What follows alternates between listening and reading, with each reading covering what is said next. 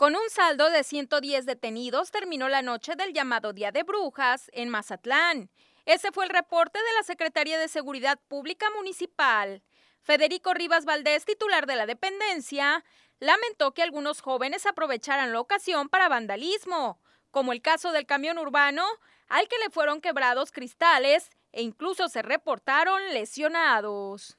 Hubo 110 detenidos por faltas administrativas, este, vamos, ese es el modo global, no hubo una en particular que fuera señalada etiquetada que por, precisamente por el Halloween. Hubo un acto de vandalismo que sufrió un vehículo en la colonia Madero, este, fueron menores de edad que eh, lanzaron piedras a los cristales del, del autobús urbano, hubo lesionados, eh, los, cuales fueron atendidos, no de gravedad, pero pues sí es este, un asunto relevante. Como autoridad municipal, Rivas Valdés llamó a la ciudadanía a celebrar el Día de Muertos, pero con prudencia y sin excesos. Y seguramente este, el día de, de hoy y mañana también vamos a tener mucha actividad y reitero nuevamente, divertirnos, festejar o celebrar las fiestas de Día de Muertos según corresponda. Hay quienes están recordando a sus difuntos con mucha alegría, hay otros que los están recordando pues con una reflexiva tristeza, con un extrañamiento, pero hacerlo con responsabilidad, con civilidad, de respetar cada quien los usos y costumbres que,